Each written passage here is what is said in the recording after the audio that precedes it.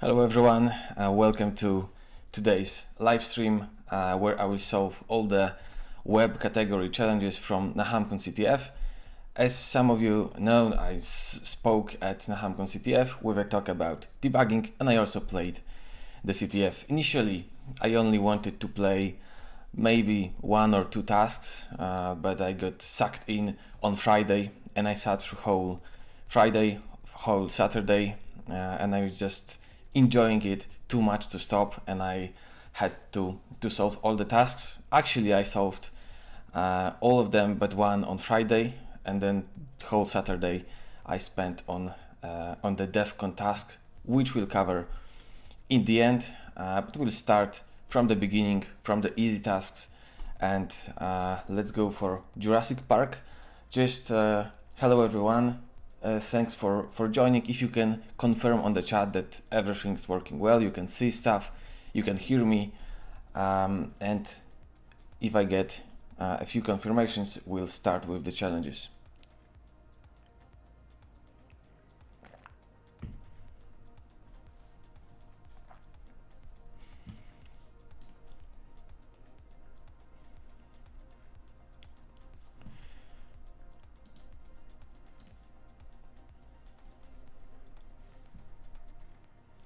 All good. I hear from the from the chat. So let's go. Uh, hello. Hello everyone. Hi Mohsin hi Tekka. Uh, hello. First name last name. Hello everyone. So let's start the first task Jurassic Park.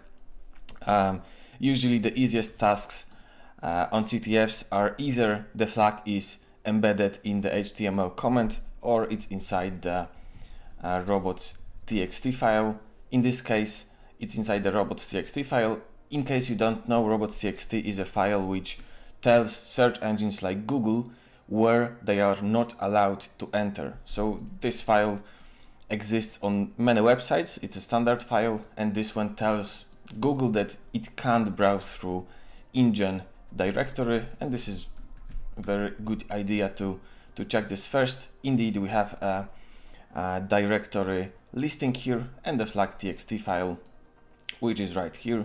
And this is the first challenge. Uh, we will not uh, not stop too long uh, here but we'll skip to the next challenge which is called extravagant. And um, the, the the description on the XML parsing service which suggests it might be an XEE uh, so XML external entities and uh, considering this is an easy task again, it's probably not going to be uh, not have any complications. And when we uh, start, when we open the challenge, it might take a few seconds. We have here two endpoints, two websites that are actually doing something. The first one allows us to uh, to upload a file. I have an example file here. Here I get an information that the upload was successful and then I can view this file uh, in here. So let's skip to, uh, to burp. I have these requests prepared here. This is the upload request. It basically has nothing, uh, nothing strange, just the, uh, this, the normal uh, file in the body of the request. One more thing that I need to check is the port number because I did this on the previous instance.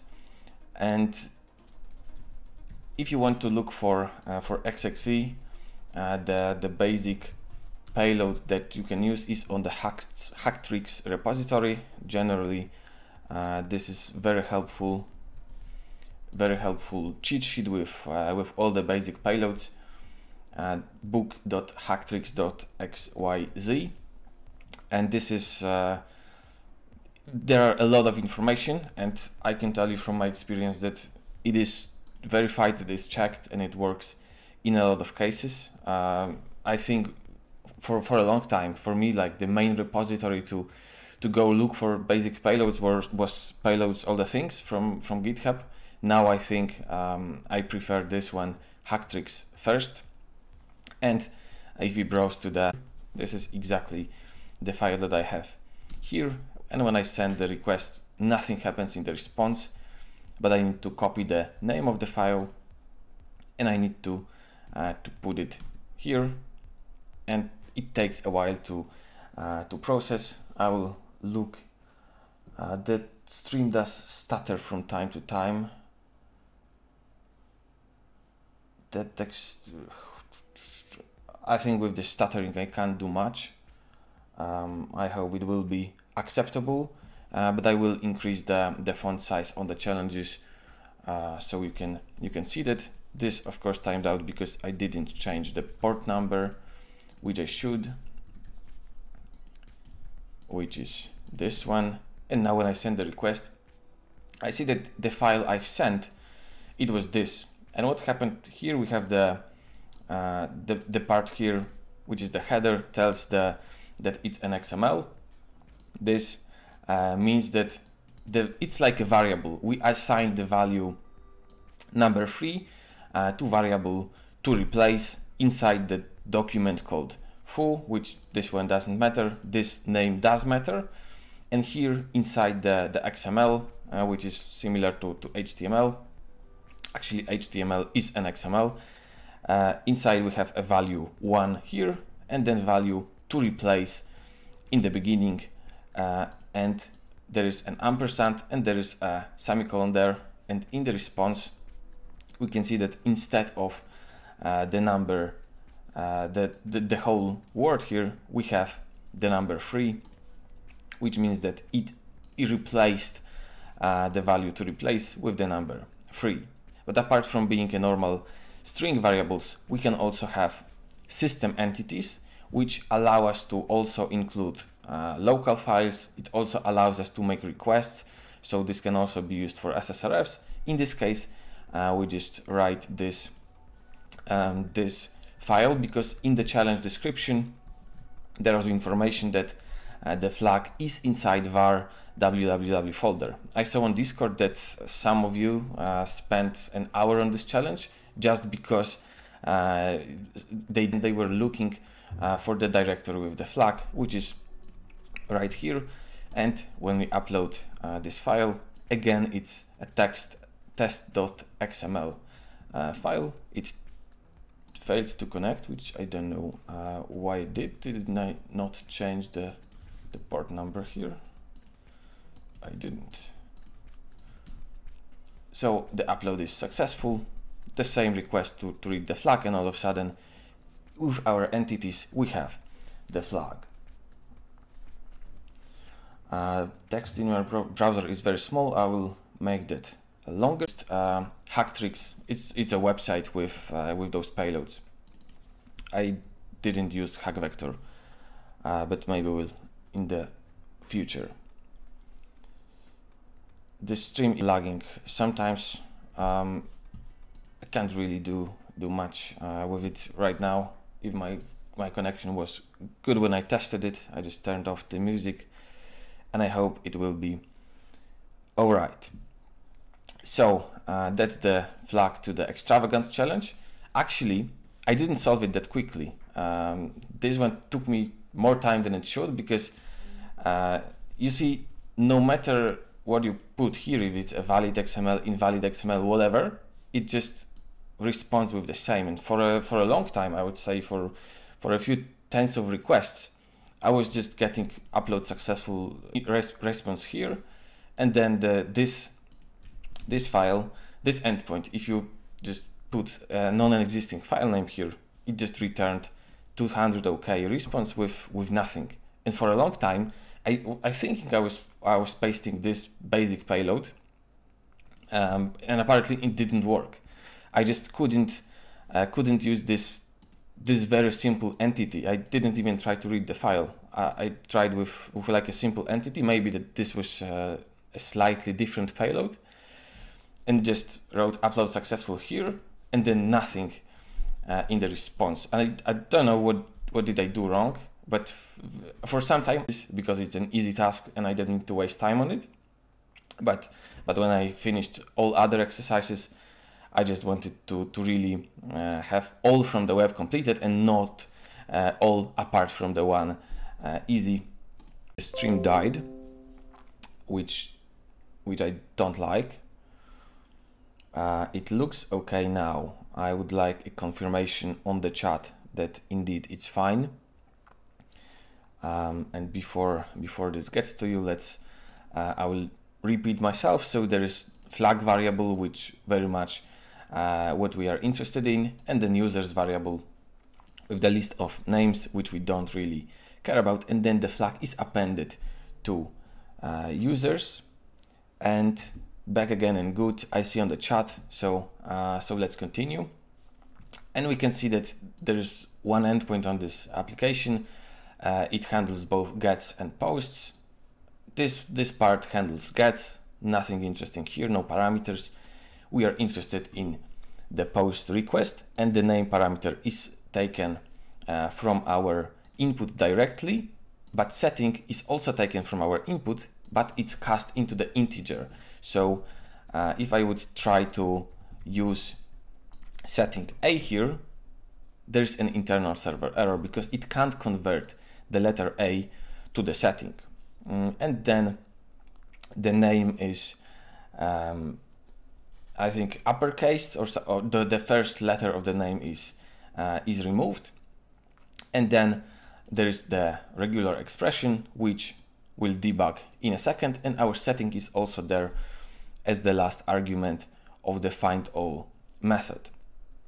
To understand this regex uh, I will use a website called debugex uh, which is very useful for uh, for understanding for understanding regexes because it visualizes uh, it visualizes what happens here.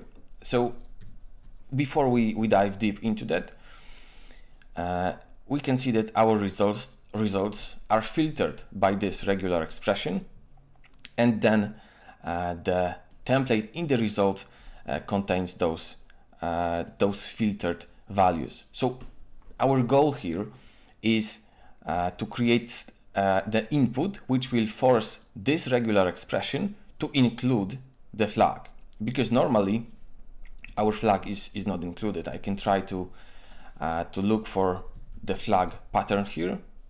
Nothing shows up. So uh, we need to understand why and we need to, to basically create the input which will uh, give us the flag.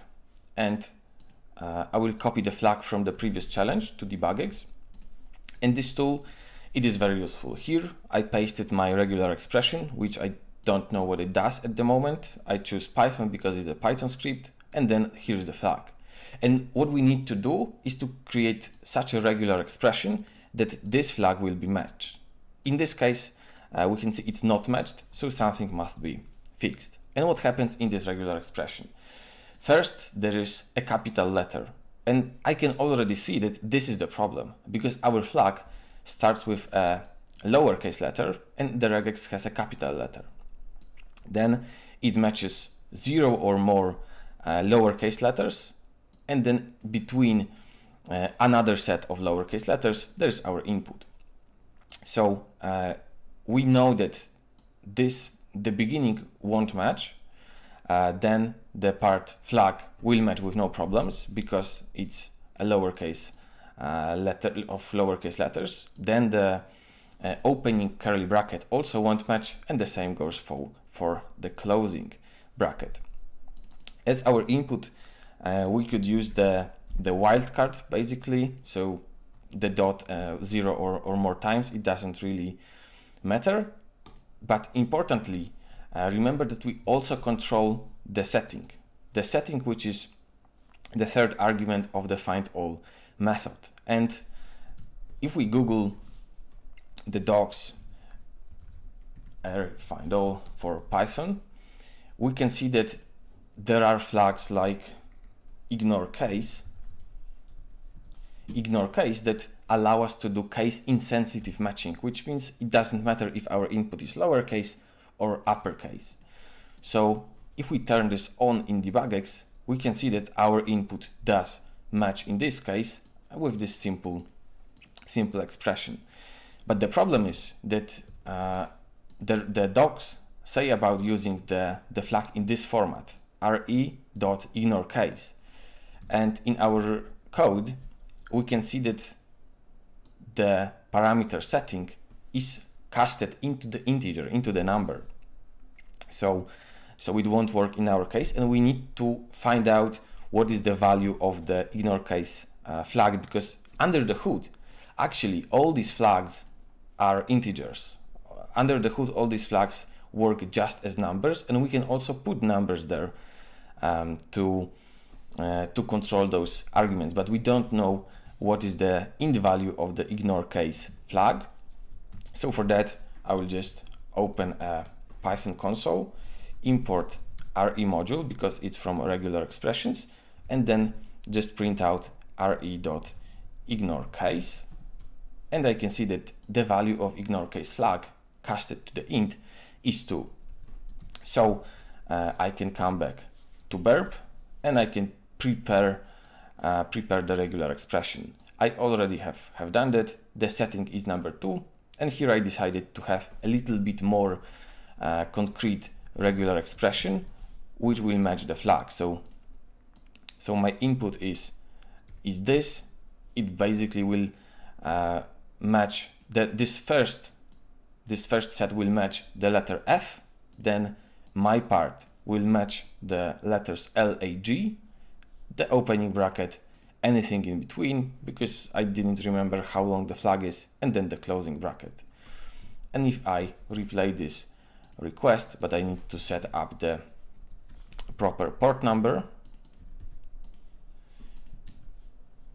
we can see that in the results we only have the flag. If I would only use anything zero or more times, this would work too, but it will, would also give us uh, other names which doesn't really uh, help, but the flag is also there. Hello Sharat, how are you doing?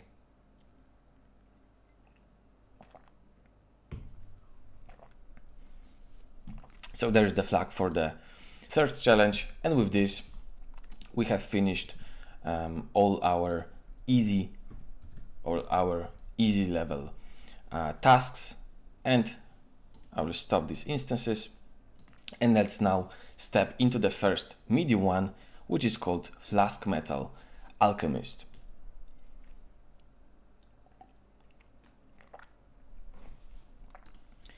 This one uh, has a list of uh, atomic um, I don't really know how it's called, but we can search through through those metals, and uh, there are the results. We can also control how uh, they are sorted in this table, and importantly, we also um, have the the source code for this challenge, which I have um, opened right here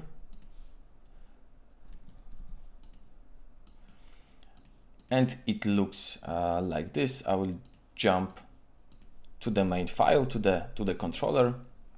We can see how it looks um, under the hood. First, maybe I will show you the, the request. How does the request look? It has two parameters. Uh, regex is always a pain. Indeed, regex, a pain for, for developers, but, but for us, it's, it's an opportunity, I would say. And this request to uh, to the challenge to, to searching through those metals has also two parameters, search and order. And in this case, it was ordered by atomic number. And let's see at the source code, we see that uh, this part handles the post, post request and it simply takes our parameters here. If the order is not specified because it's not required, we just uh, query the um, metal object by uh, this function and our input is right here. This uppercase name suggests it's using an ORM. So in, another, in another file, probably in, in models file, we have specified the, um, the table and the every metal has uh, atomic number, symbol, and a name.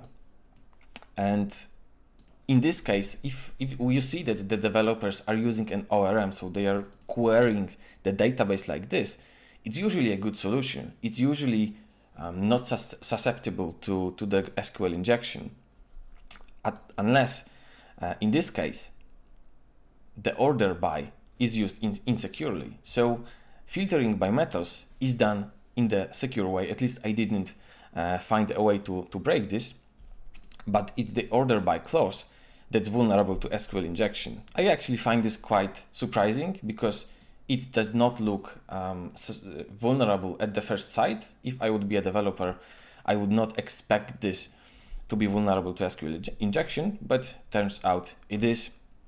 And um, I felt this based on the on the challenge structure, but uh, I wouldn't wouldn't think about this if I would audit this this source code. So again, we have the the injection inside the order by clause, and it is a bit problematic because we can't just uh, use union and add the flag, uh, but we will have to to think about it more.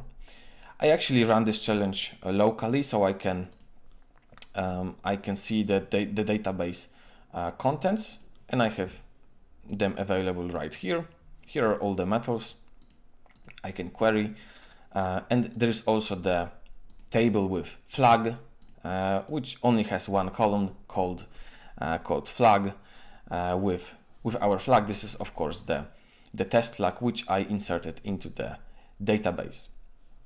In case uh, you will ask, this uh, extension is called SQLite Explorer for, for VS Code and it allows me to, to query the database live. So um, our, our uh, query will be uh, something like this. So first there's just a simple uh, select from metals, we can run this query, we can see all the metals. And then uh, let's add the order by clause and let's just use name here and run the query again. We can see that the order of those metals changes uh, when I add the order by clause. And there, this is our injection point and the question is what can we do with this? Actually, this is very simple to one of my previous videos about uh, overflows challenge where there also was an SQL injection, the blind SQL injection with the injection point inside the order by clause. I think the reason uh, these are quite popular is because SQL map can't exploit them. So it makes uh, the, the players uh, write their own scripts. And this is the case here. And we can't just add union here, as I told you previously, even, even if I um, use the proper proper um, number of columns it just will throw an error uh, because it doesn't allow union to be here but what we can do is we can use the limit clause so the limit clause uh, tells the database how many records do we want in response and when we, when we want one we will get one when we want zero we'll get zero there are 92 uh, records in this database, so the limit can be as much as 92. And importantly, you can also have some function calls and subqueries in this point. For example, I could here use the Unicode function with the input, let's say capital A. And when I run this query, I can get 65 requests, uh, 65 records in the response it's because the ASCII code of the capital letter A is 65. If I choose the next letter from the alphabet, it returns 66. Uh, if we open the ASCII table here, we'll see that indeed uh, these are these are corresponding um, values from the database and we can see we are caring about the decimal in this case capital A has, has 65 capital B has 66 so this way we can extract uh, one character of a flag at a time because uh, we can go further and instead of mm, only having the um, the Unicode call here, we can also uh, have subquery. So here I can write in the uh, parentheses select Unicode and when I run the query, it does the same. It essentially does the same in this case, but I, I can have a select here.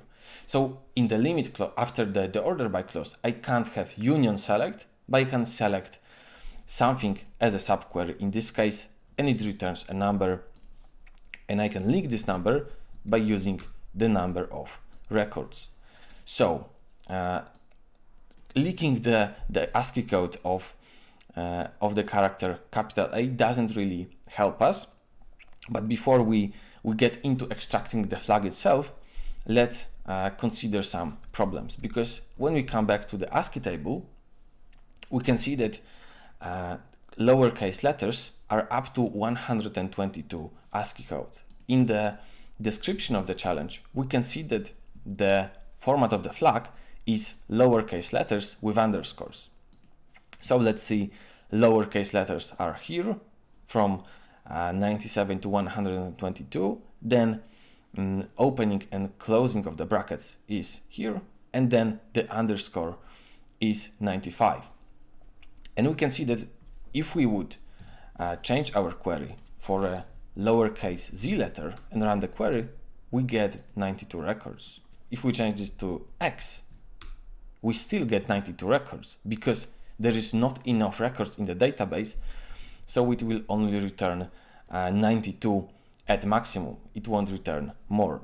So in this case, what I can do is I can subtract any number from this uh, from this query to then add this number again because um, 65 is the ASCII code of the capital letter A and everything that will be any character in the flag that would be before A uh, would return zero rows. But in this case, there are no su such characters.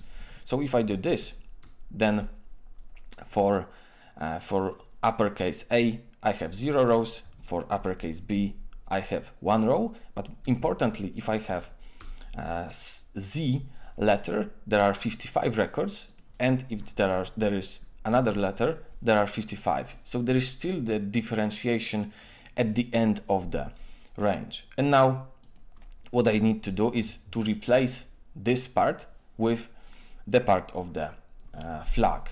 And um, of course I can't have the whole flag here, but I can have the part. In this case, I will copy this code from the exploit. And there are two functions here. Uh, actually one function and one select. So first there is uh, the simple select, which is select flag from flag, uh, which returns our flag. And I, am using a substr function, which uh, takes this whole input. So this will be our flag and then takes, takes uh, one character starting from one. So in this case, if I run this, I get a syntax error because there are improper number of uh, parentheses. Let's see uh, let's see where I have too much of them, maybe here. Indeed, uh, for the first letter of the flag, I have 37 rows. If I would cut this part out and have the letter F here, it will return 37 as well, which means I successfully, with this input, leaked the first character of the flag. Now what I need to do is increment this to 2 and I'm leaking the second character of the flag and so on and so on. And here is the code um, that does this. It's very much aligned with, uh, with what I covered in BBRE Premium lately because in the uh, second to last issue I covered making requests from, from Burp, so using uh, from, from Python, so using requests module, sending requests, sending parameters, how to do this. And in the last issue I covered using Beautiful SOAP, so parsing HTML responses. And uh, in this case, I specify the URL, which uh, I will go ahead and change the port number to a current one. Um, then I just tell that I don't know the flag yet, and I also initialize the character variable and the i variable is equal to one. And then this is my, uh, this, these are my parameters. So I have no search. I don't really need this parameter. All I care about is this uh, this order parameter. And it's simply the same thing I have here. So I just could just copy this. Uh, and the only change is with each next request, I increment this parameter by one because I've in the first request, I will leak the first character of the flag, then I will leak the second, the third, and so on and so on. And uh, with each uh, iteration of this loop, I will leak the next character of the flag until I leak the closing bracket, which will mean that I have the flag on my computer. Then I also have um, making request uh, using request module. I also proxy this through burp so I can see everything through burp and then I initialize the beautiful soap module which allows me to easily query the, um, the HTML of the response. It parses it and gives me a nice interface to, um, to ask it. And then what I care about is I care about how many metals were returned in the response. So I just find all TR elements. TR stands for table row uh, because this this thing is a HTML table and each row means another metal. So uh, I find all TR elements in the response using this, this code. I care about how many of them uh, are there, so I take the length of this table and then I add the 65 again because I subtracted the 65 here, so I need to add it here again, uh, which means that this variable character ASCII contains the ASCII code of the currently leaked character and then uh, I, with the thr function, uh, I cast it back uh, to being a character from the int. I add it to the flag and I print the flag. Let's um, let's run this uh, this program with another terminal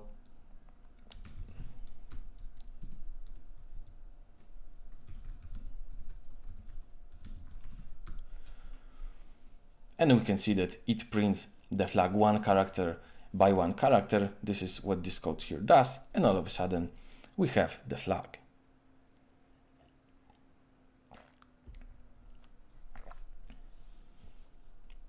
Yes, Danilo. Uh, it's the, the standard case where you leak uh, one bit of information at a time and you do binary search to find the character of the flag. But um, that requires that method requires many more requests.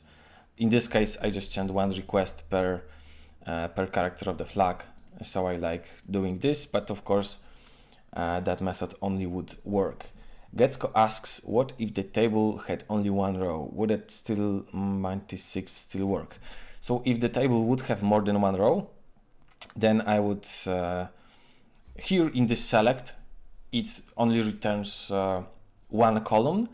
If there would be more flags for some reason, I would lead uh, limit one here, and it would then again like return the string because with if, if there would be like limit two and there would be two rows, it would return a collection of or whatever it's called, and substring function does not take uh, more than one string so, so it would probably throw, throw an error. So I would just go for limit one. It would again return a string and again this would work.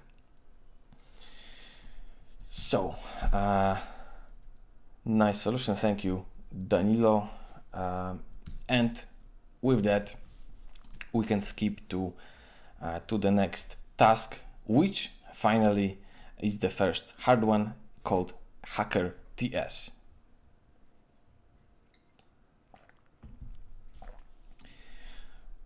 in this challenge, we start um, with a website that allows us to customize a t-shirt um, and we can print whatever we want on the t-shirt. Importantly, this is an image, uh, so the backend probably opens a headless browser, creates an HTML with our input, and then makes a screenshot of that website um, to then uh, returns us the screenshot. We can also uh, think that considering that the response usually takes a lot of time, which suggests that the backend really uh, has to start the headless browser and and make the screenshot because it takes a lot of time and resources. And also we have the, the admin button here, but when we click it, this page can only be seen internally, localhost 5000, which is a very clear hint that this is an SSRF task because uh, first we have the, the image generation, which we know can be susceptible to, to SSRF using, using XSS. And then this message just confirms uh, this is the case. So what you need to do is you need to create um, an input that will exfiltrate the flag that will make a request to the localhost 5000 and then send you the response back to your server. We can first confirm that we can um, control the, the, the body, we can control the JavaScript by just querying um, querying our collaborator instance. In this case, it's uh, blocked, probably because I didn't use the HTTP protocol. So I run this again. Uh, it again has an error about uh, parse error. Because, oh, okay, because this didn't return uh, a proper JS, obviously. So there, there's an error, but we should see that it did make a request and it indeed there is a request. We also can see the, the library they use to, to generate an image. And uh, this confirms first that we have uh, internet access uh, to, uh, if we can reach our server. It also confirms that it does try to execute scripts. And so script tags. Uh, so we have everything that we need to, to exfiltrate the flag. So this part is uh, is boring so I'm happy that I already have this this request uh, this uh, this proof of concept ready this was a hacker TS and this is the simple uh, JavaScript code that um, opens creates a new XHTTP object um, and on the on getting a response it sends another request this time to our collaborator instance and in the first request, we open the localhost 5000 slash admin address. Um, and then when the response to this request is handled, this code gets executed, which sends the body to our server. Uh, what we need to do here is to change the collaborator address. And uh, this is pretty much the, the whole exploit. I will just need to, to paste it. I can probably do it here, although it might not work from the browser due to some encoding problems. And let's see if the uh, we, we can see that something was sent to the collaborator server. It's encoded, um, but is the flag here? The flag is here we can search for it.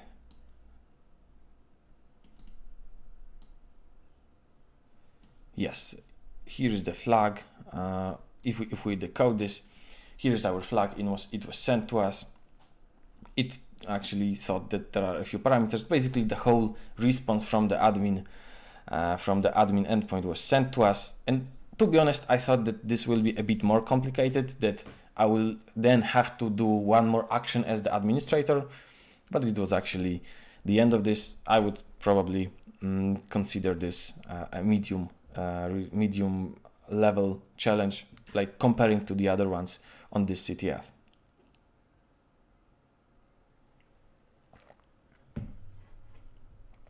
Oh, get comment if there's only one row in metals table.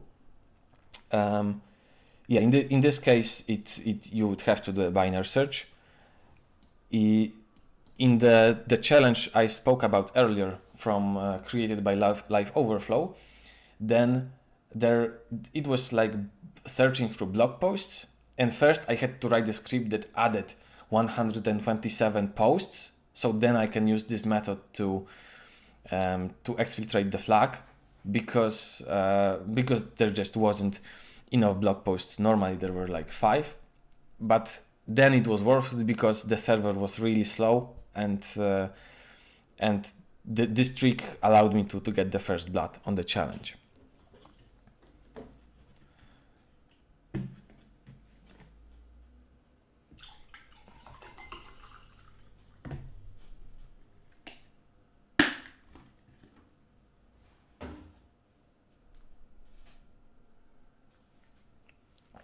So uh, that's the first hard challenge um, done.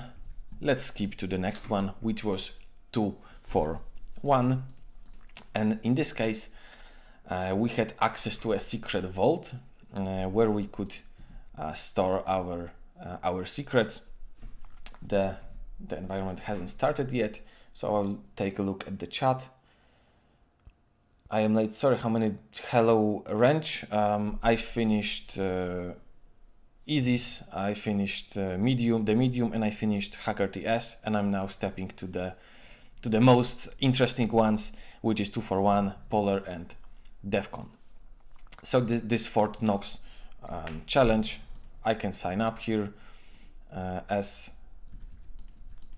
as the as the hacker and the application wants us to set up two-factor authentication.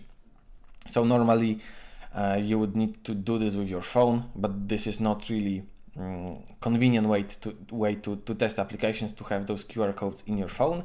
So let's take a look at the request. After sign up, we can see that it looks like this, and there's basically a secret uh, which is like shared by my 2FA device and the server.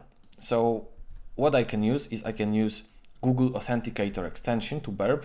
It is available here and it is uh, it is free. It does not require uh, the Pro version and it basically takes the secret as the input and generates the 2FA code as the output and it is very useful for for testing purposes. I would prefer if I could just copy this uh, because I will have to uh, to uh, like switch between tabs and, and look for it. And for some reason, sometimes it does output uh, codes that are shorter than um, than six characters, and they seem to not work. Or maybe I have to put it trailing zero. Okay, it does it does work. So I can now create a new secret with the name test value secret, um, and then to see it, I also need the 2FA OTP code. So I need to, um, I need to write this down and I can see the value of the secret. Let's see the, the requests that were, that were under the hood. Uh, there are two parameters, OTP and the secret ID and the response has the value secret. The first thing we should check is if the OTP is required, if we can't maybe bypass this, maybe provide many OTPs and so on and so forth. I didn't find anything wrong with this particular uh, with this particular functionality. So mm, let's go to settings and see what is here. We can see that we can change the, the password, which also requires the 2FA, but we can also reset two-factor authentication with one click. Uh, so we can see that there's post to reset 2FA endpoint and in the response there is another secret which we can again mm, put to Google Authenticator extension. And uh, it doesn't ask for the preview OTP, it doesn't ask for a password, so that's clearly insecure, but it is not immediately exploitable unless we can uh, have a CSRF or an XSS. And here at the bottom, we have the feedback form, which definitely suggests that there might be um, an XSS and in this case uh, I will again just use uh, script uh, source to confirm using Burp collaborator that it does uh, have access to the internet and it does try to make a connection to my server. The first time I was doing this I used XSS Hunter which is like properly used for this but it is not necessary. I can see the request here. Indeed, uh, it tries to, to include a script from my, my website. So I know that I need to uh, create an XSS payload that will um, give me the secret of another user. Because in this case, uh, the first thing that I, I think is that the flag is in the secret of another user of the of the admin that was created when the application was first launched. Mm, so there's probably mm, a chain of, of a few vulnerabilities. One thing that I thought about is about changing the password of the administrator and logging as the administrator, which uh, which you can do with, with one request and then you can log in as the admin, uh, but you need the OTP, so you need to first reset the 2FA and then uh, change password. I, I don't know if this was the intended solution because I didn't even use the change password uh, functionality at all. What I did was I first wanted to reset the 2FA to be able to access the um, the the secret and then I accessed the secret using the same XSS payload. So there are two requests that my XSS payload must send. Um, so let's start creating the payload. And I don't know how about you, but I am not very good at, uh, at JavaScript. And what I prefer to do in this case is to go to the network tab in developer tools, click the reset 2FA button, and then when you have the request here in the um, developer tools, I hope this is visible because developer tools um, are not magnified, uh, but you click the right uh, right mouse button, copy, and then copy as fetch. And copy as fetch um, looks like this. It basically creates a JavaScript snippet that makes requests to this endpoint. It also has all the headers, um, has the body, has the method, and so on. So I use this method to create uh, my payloads for, for things like this. And um, this was the, the first one.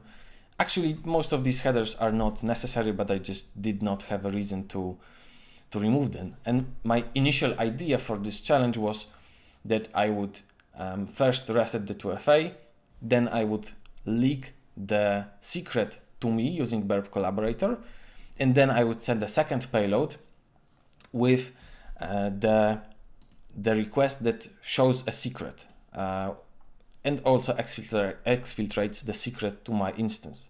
But it didn't work. I don't really know why it didn't work, but, but I know that it, it didn't.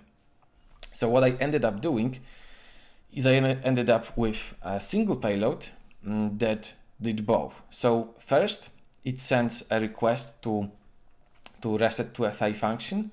So it resets uh, the administrator password.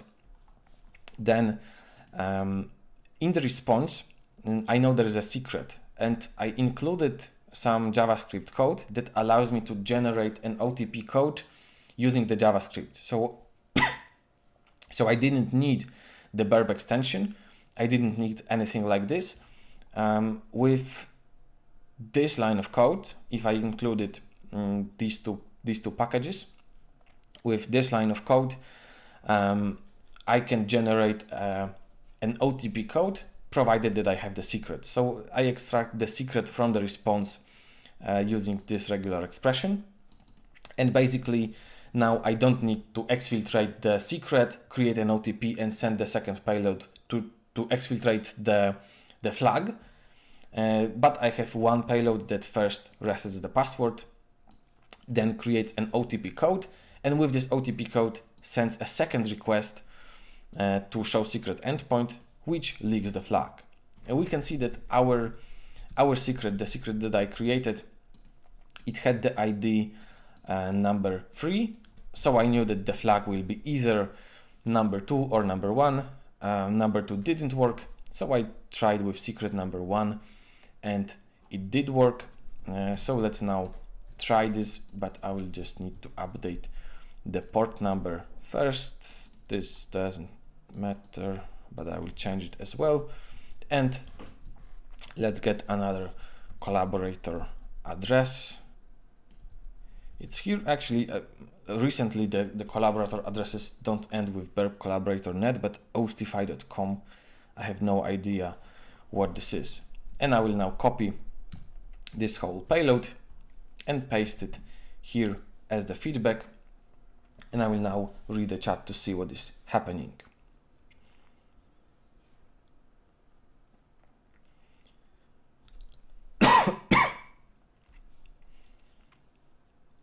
Did I check JSON attack? Um, yeah, I think JSON attacks might are also things that I should test here, but I actually mm, I didn't. I when I saw the the feedback form, I I knew that this is the intended solution, and uh, we can see that indeed I have a request in Burp Collaborator that leaks the flag to me uh, with from the admin. So this is the payload that eventually worked. And with that, we have two more challenges left. And I would say that um, all these challenges up until now I pretty much flashed, um, and these two were were really were really interesting.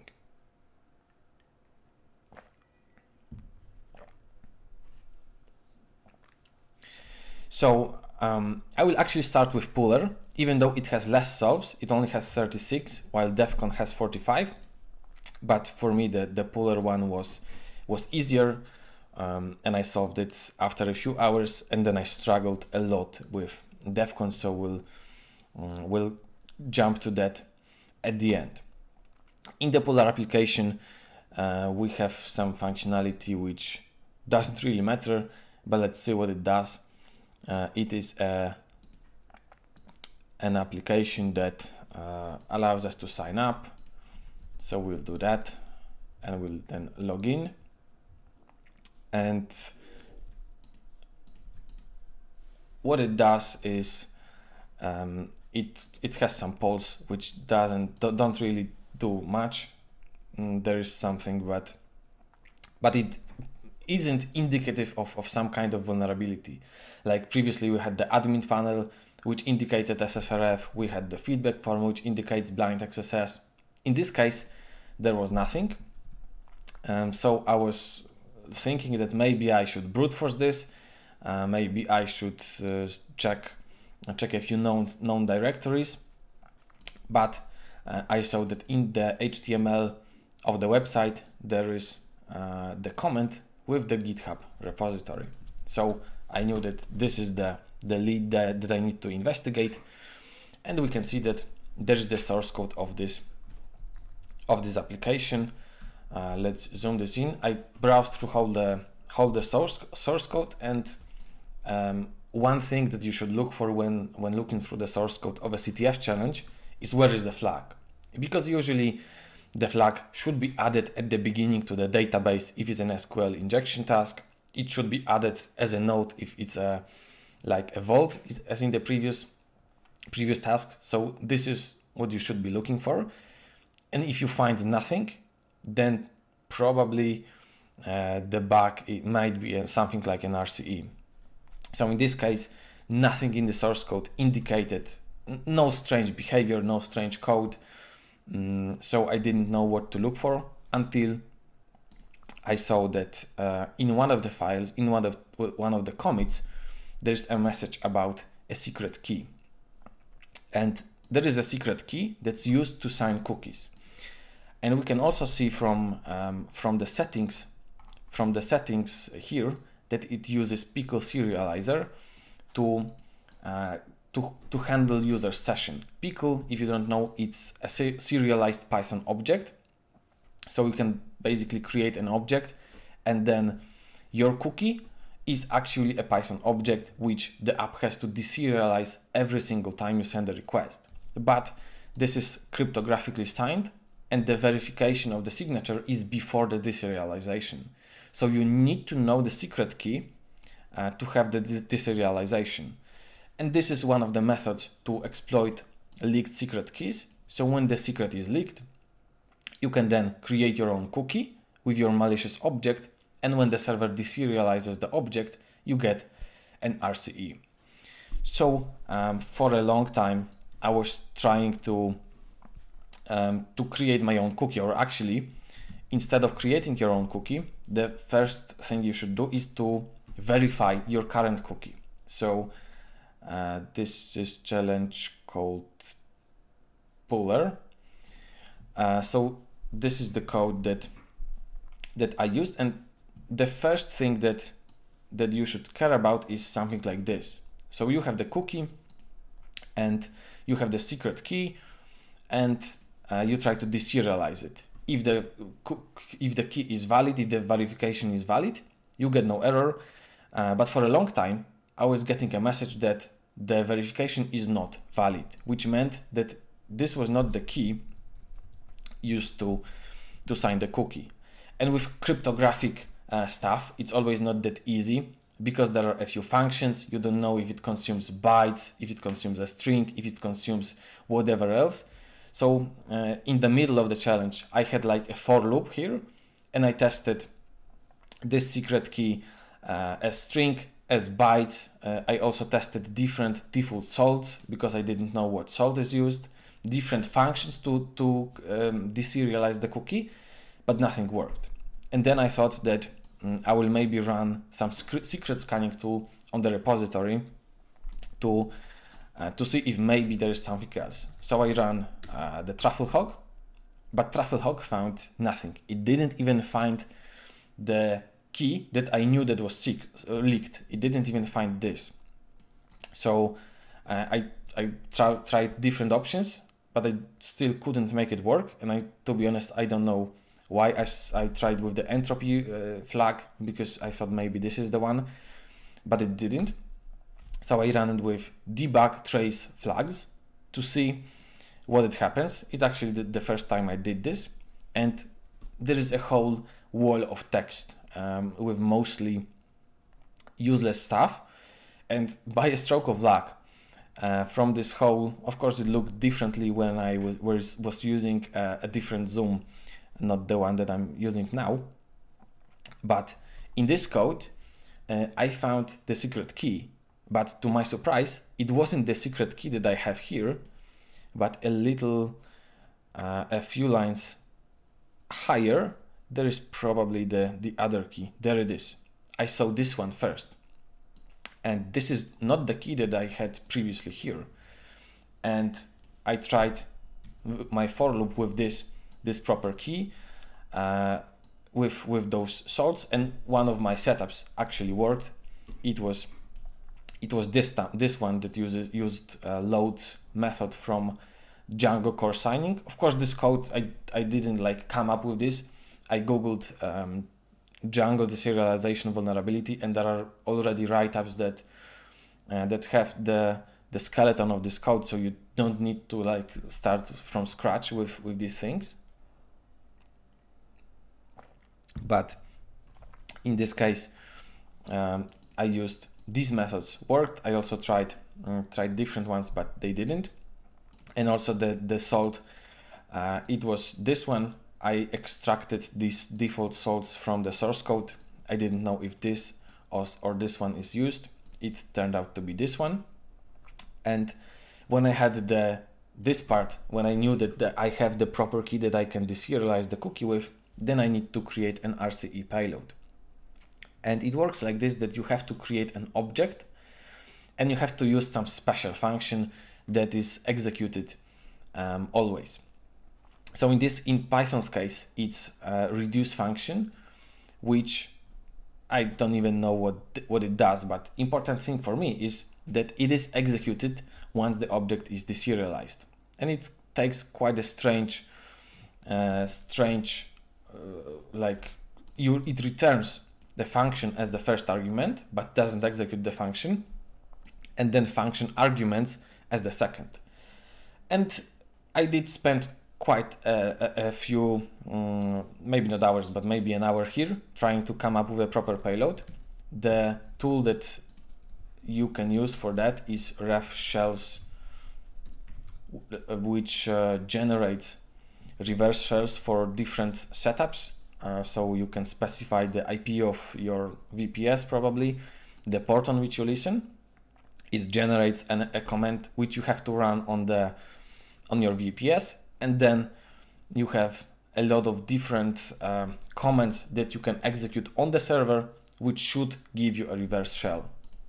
In this case, um, it didn't work for a long time. I think I tried with bash shells. Uh, I tried with uh, with different files it didn't work. I also, uh, at first, I tried to execute code here, like in the body of the reduce function, but this was executed on my computer instead of the server, so it didn't do anything. And also this tool has um, Python uh, shell here, and it returns you a Python code that gives you a shell. So there are more than one function calls. So at, at the beginning, I didn't know how can I like pack this whole shell inside this one reduce call, But finally, I came up that I, I can use the exec function, which executes the Python code. Um, and as the argument, I just pasted this code from here. And I think first I started with bash because I thought it's more likely to, to have bash shell installed. It didn't work. And then with the shell worked, shell, uh, sh shell, it worked. I will just um, now add uh, my VPS IP here just to not leak it on the stream. There we go. And uh, we can change directory. I will also need to update the, the port of the currently attacked server. It's this one.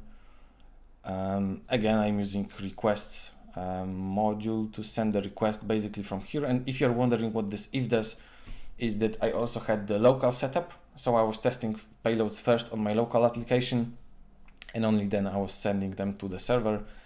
Uh, right now we, we do not care about uh, that. And this I guess should be my VPS but it's not. So I will log in here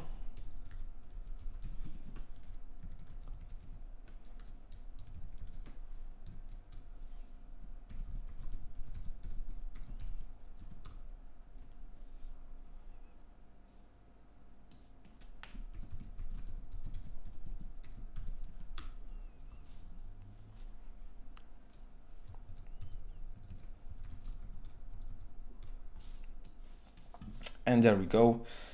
And right now uh, I have my VPS listening for the connection.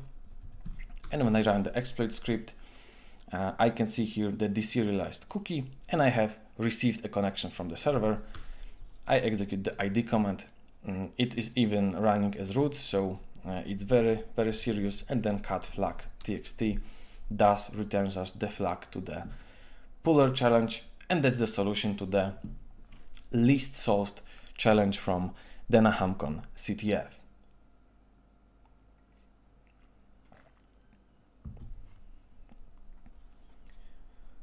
North America, I don't know what is this challenge. Um, I am only solving today uh, challenges from the web category because these are the only ones I I solved because I don't like play CTF to play CTF. I just play CTF to to have some fun and uh, polish my web hacking skills. So I didn't. I thought that maybe if I will have time, I will try some crypto tasks. Uh, it's not crypto like cryptocurrency, but but the traditional crypto. But those uh, web stuff took me so much time that I didn't have uh, didn't have the the mood to do this anymore. In the DEF CON tasks, uh, which is definitely the one that I spent the most time on. We can again see that there is uh, some generation of a PDF. In this case, there are two inputs, our name and our email. And I knew straight away um, that uh, in the email, you can only, if you have uh, an, an allow list of uh, these characters. So I did, of course, test if it, indeed only this can be used, but uh, didn't seem to be hackable. So I, I was pretty sure that it has to be in the email part and uh, in the email part you can't just use any tags here because it says that the email is not RFC 5322 compliant. And I knew straight away what this means because uh, I covered in BBRE Premium the blog post about um, breaking email parsers about a few uh, a few months ago and so I knew straight away um, what should I do. It's this talk um, in BBRE Premium. We also have this. Uh, we have notes from this talk that I created, and uh, straight away when I saw this this bad request error, I knew that um, this is what I should do. So uh, I knew that the this part can be quoted, and you can inject uh, HTML tags inside and this is a valid email. So uh, so this is the the thing that that worked straight away. I actually did this from my mobile on Friday uh, evening when I just wanted to to see uh, what this task task is, and I thought that it is very easy, uh, which uh, which backfired badly. Because what we couldn't use is we can't use the parentheses in this case. We we see the information that uh, parentheses are not allowed in emails. And note that this is a different error from the the one that was previously. So uh, it looks like the the RFC check does have the uh, the email the parentheses allowed which which by the way is uh, is wrote here that they are allowed in the regex but are validated uh, later. And the parentheses are blocked. So this indicates that there is some regular expression to match if the email is RFC, which whichever it was, valid email, and then there is a, uh, an if or a block list or something that is supposed to filter those characters. And at first I thought that this is another case of an XSS. So I tested a bunch of payloads for um, like in the in the hacker TS task, task a bunch of payloads for SSRFs using file protocols, iframes, JavaScript code without um, without parentheses. I was I also had the local uh, the local setup with uh, the the tool that I could generate. I could generate um, my uh, I don't know where is it where is it um, but I could generate those images locally so I tried locally some payloads and I confirmed after after some time that I am pretty sure that I cannot uh, execute JavaScript code in any way. I thought that there is a CSP, uh, which blocks it. So I tried with iframes with with different things, uh, and uh, this was the point where I didn't know what to do. In the meantime, uh, one of uh, one one person that I saw on this chat wrote to me about this task and between I responded to her, she solved it, and she told me that it's not an, an SSRF, not an XSS. And uh, what I, the first thing that I tried after, after she told me that is the template injection. If it is a template injection, and I saw that instead of seven times seven, I see 49 in the response. And I was a bit angry with myself that I spent so much time, mm, like with a tunnel vision on one particular vulnerability class that that I thought it is present here, and I didn't um, like step out a bit to think about other things that may go wrong here. But still, with with uh, SSTI, you can't do much with uh, without parentheses. Sometimes in easier challenges, uh, the flag you can see if you just print out config, uh, which doesn't require printing variables, of course, doesn't require parentheses uh, so it prints a bunch of configuration options. Sometimes the flag is here or the secret key is here and you can make the deserialization. And the internet tells you about a bunch of variables that you can check um, to, to find uh, different values from the application. And I spent a few hours doing this, but again, no interesting variables I could find that would uh, move me forward. So I um, I had to, to find another way. I also uh, tried to, to simply bypass this, this validation. I was at the point where I was pretty sure that this error, this, this bad request error is strange uh, because this is quite a strange message. So there is probably something with this validation.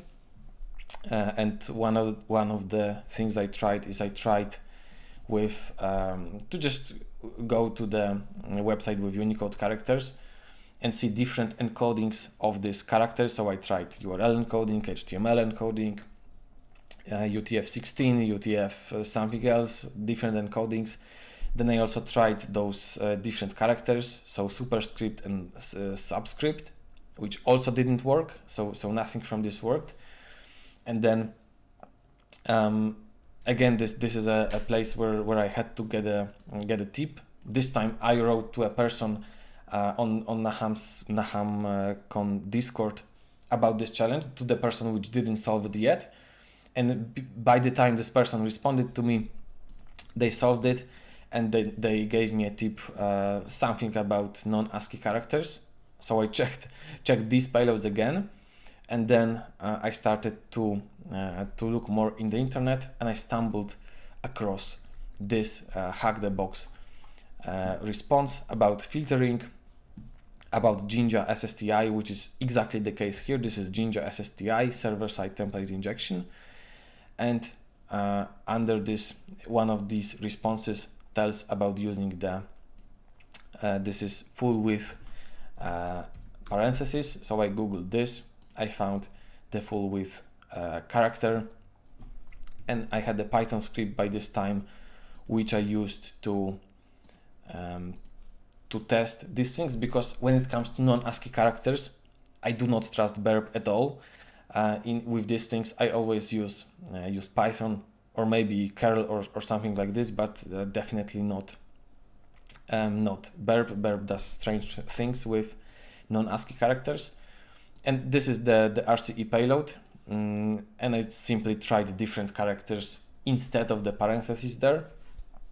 And uh, all of a sudden, when I tried with, uh, with this, on this page, fileformat.info, you can also see how to write this character in Python source code so first I tried with a very simple payload. I tried with something like um, one to join with with those uh, with those different full width parentheses. And when I saw that it did process those um, those parentheses, those full width parentheses as the normal ones, I knew that I have this challenge solved. Uh, so I just put them inside this RCE payload um, these are th this is the opening parentheses and this is the closing one and this whole thing it's a it's the python code to get an rce from from server side template injection i also didn't write this from scratch. This is this has been built before. And then i add uh, the curly brackets on both sides of the payload. I need to change the the port of the challenge. This is the one that i can use now. And I just send the request to the ticket endpoint with those parameters. Uh, I also have burp as a proxy and I can see that um,